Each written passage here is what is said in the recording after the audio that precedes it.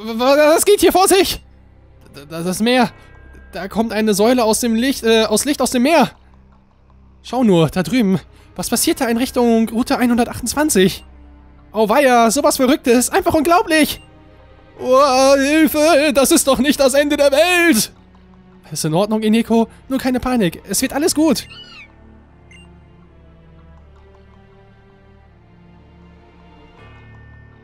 Uff, ich bin total starr vor Schreck.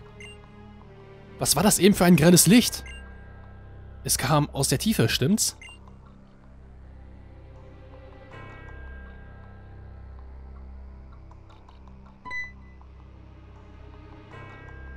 Setzley!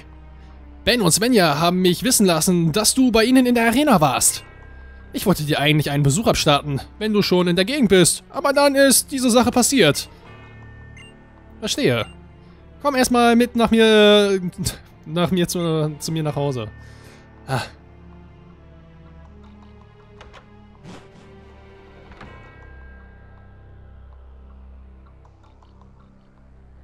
Das ist mein bescheidenes Zuhause. Ja, ich weiß, es ist recht leer und versprüht nicht gerade viel Charme. Deshalb habe ich mir, habe ich auch nur selten Besuch. Aber lass uns so lange, lass uns nicht so lange um den heißen Brei herumreden. Halten wir noch einmal ganz genau fest, was hier eigentlich vorgefallen ist. Dieser Erdstoß eben und dann noch diese ohrenbetäubende, dann noch dieser ohrenbetäubende Lärm. Das sind eindeutig Zeichen dafür, dass das Siegel tief unten im Meer aufgebrochen wurde. In einer seit langem versiegelten Höhle am Meeresgrund, nahe Route 128, ruht ein urzeitliches Pokémon. Das Siegel am Eingang zu dieser tiefste Höhle entstand mit Hilfe der Kraft eines bestimmten Pokémon.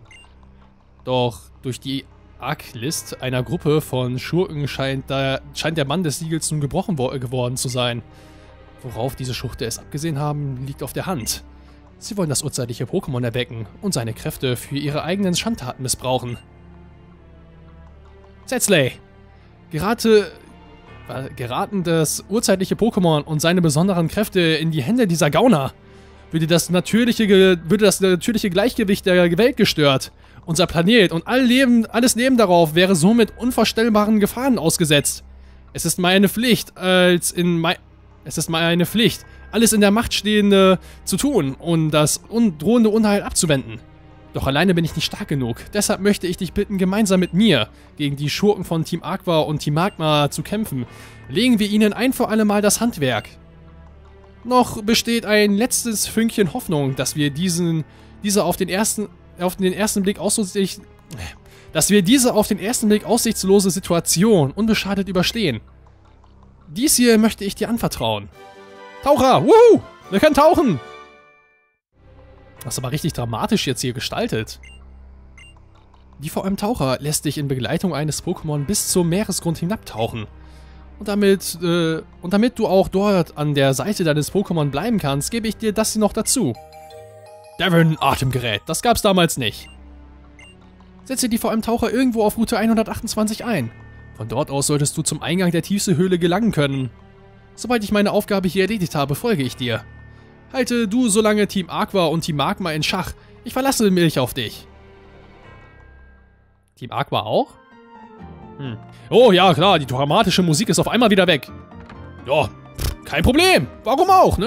Es ist ja nur Drama-Zeit und so, aber nein, jetzt ist wieder alles in Butter. Nix passiert, gar nichts. Okay, nee. Also, wenn ihr schon so ein Szenario jetzt hier inszenieren da, dann wäre ich jetzt auch wohl dafür gewesen, dass, ich sag mal, diese Art Trouble Music hier äh, weiter dabei geblieben wäre. Finde ich leicht doof jetzt eigentlich. Aber okay. Man hat es zumindest versucht. Ich gebe zu, es ist super eigentlich. Dann wollen wir mal. Wir werden Milotic jetzt wohl oder übel Taucher beibringen. Das heißt, Lake kommt wahrscheinlich erstmal weg.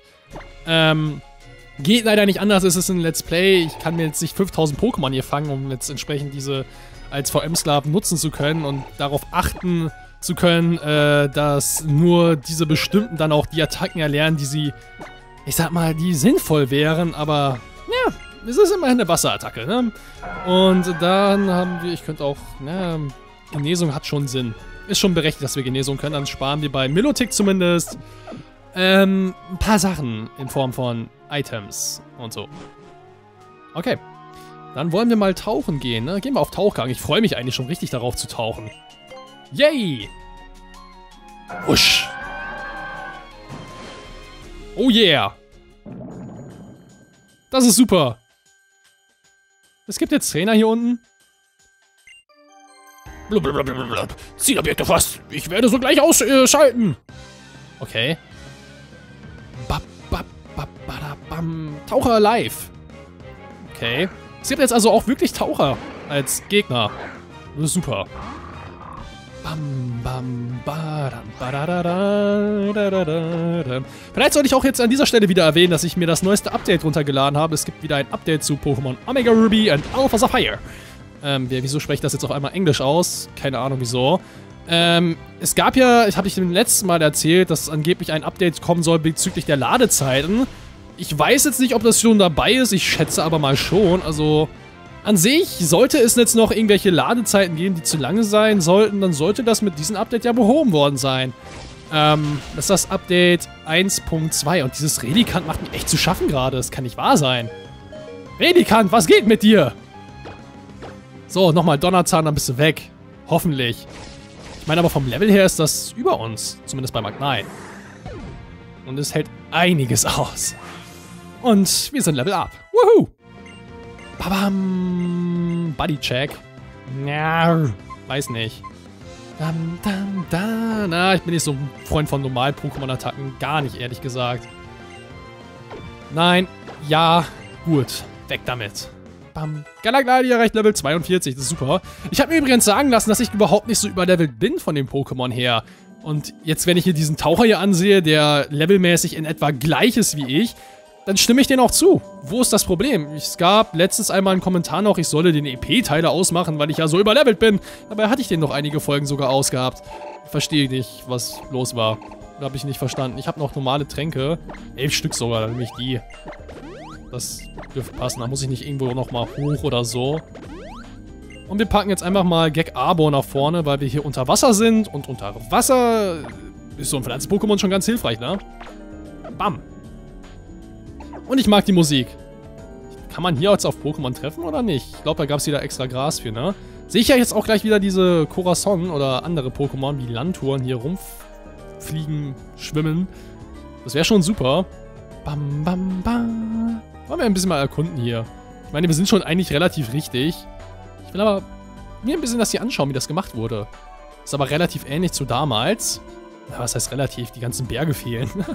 also hier waren ja damals richtige Gebilde noch, die hochgeragt sind. Jetzt sieht man hier noch so eine Art flache Stelle.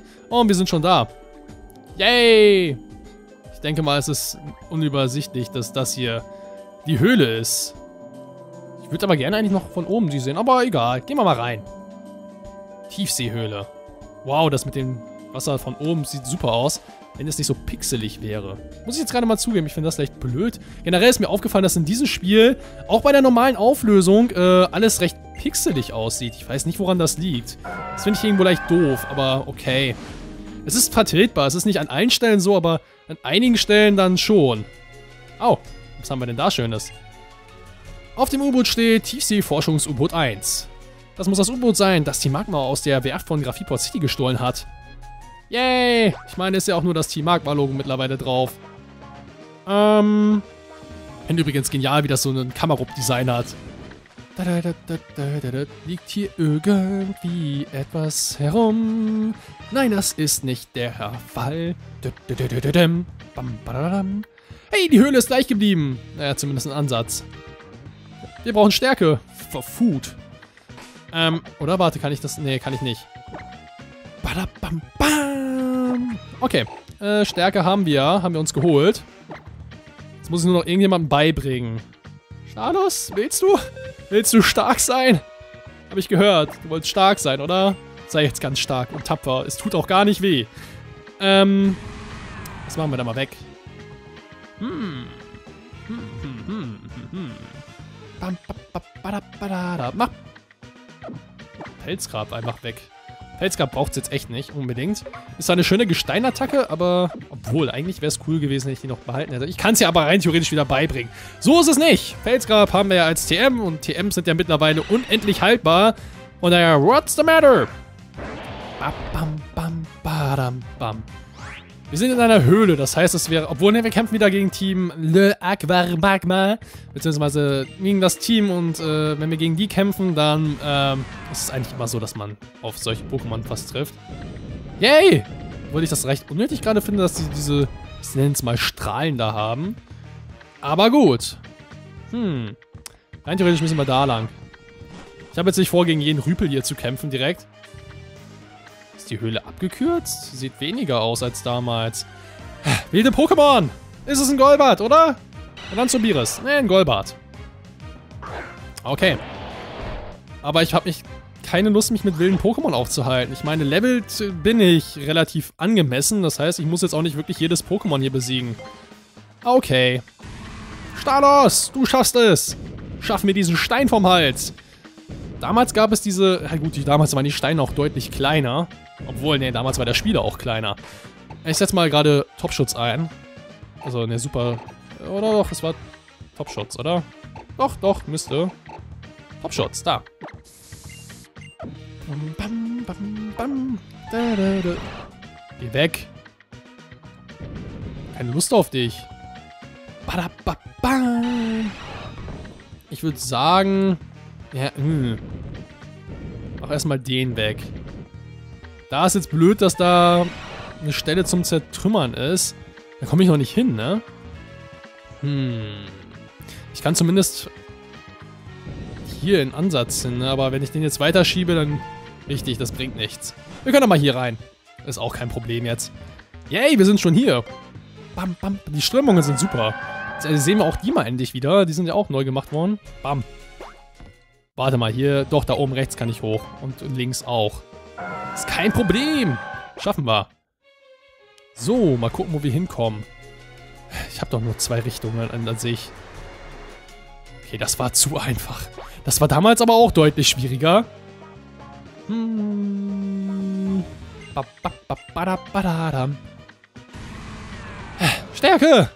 Lass ich die ganze Höhle mal übernommen werden, das wäre super.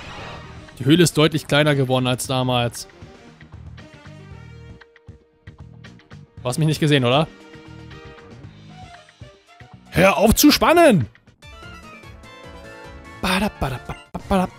Wollen wir dich auch jetzt besiegen, weil du... Äh, du, hast, du hast gespannt. Du musst jetzt besiegt werden. Dam, dam, dam, dam, dam, da, dam. Nein. Welches Level? Wie gesagt, ich habe ja eigentlich schon erwähnt, glaube ich, dass die Rüpel deutlich stärker sind als die, der Vorstand und das Dings. Ne? Eigentlich bedrückend. Die eigenen Rüpel stärker sind als der Boss. Was soll man dazu noch sagen, ne? Kann man eigentlich nicht sagen.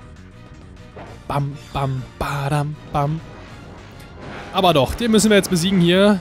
Ich setze mal Zornklinge, wie gesagt, ein. Ich versuche das jetzt einfach mal. Ich will es sehen, dass Zornklinge wirklich nach ein, zwei Anwendungen stärker wird. Das will ich sehen. Am Beispiel von 9. Na, wenn es nicht sofort drauf geht, natürlich, und wegen einem Volltreffer.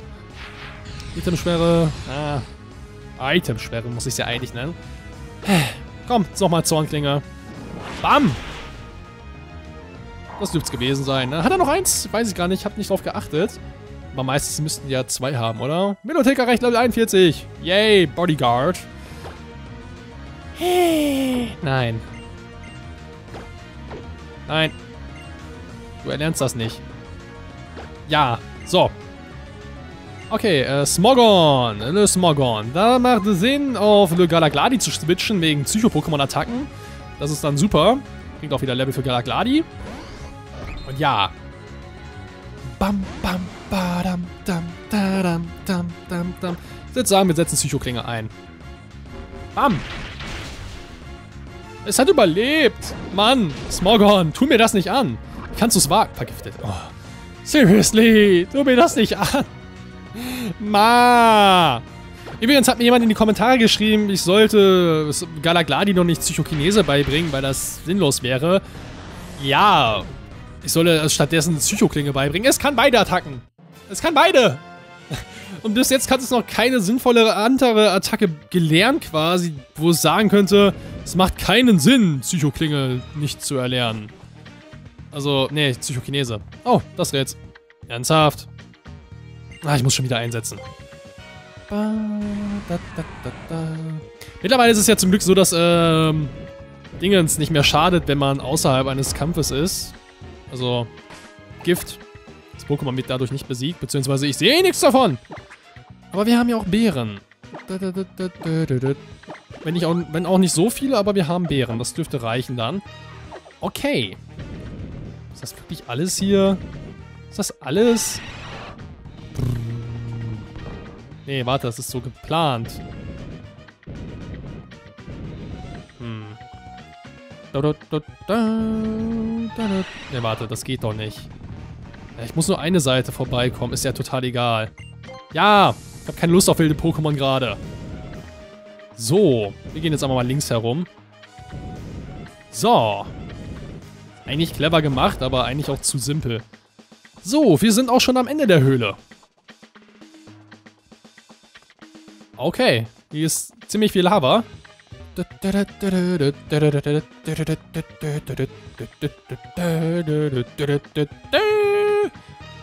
Okay. Sieht relativ leer aus hier. Wow, das hat, jetzt hat mich das zu erschreckt. Okay, wir haben hier Erdbeben. Und ja, ich würde aber sagen, im nächsten Part gehen wir dann in das große Nichts. Springen wir einfach rein. Warum auch immer. Ähm, ja, ich würde aber an dieser, an dieser Stelle, wenn euch dieser Part gefallen haben sollte, dann gebt einen Daumen hoch, schreibt einen Kommentar. Dies ist Ananas, haut rein, bis dann und ciao!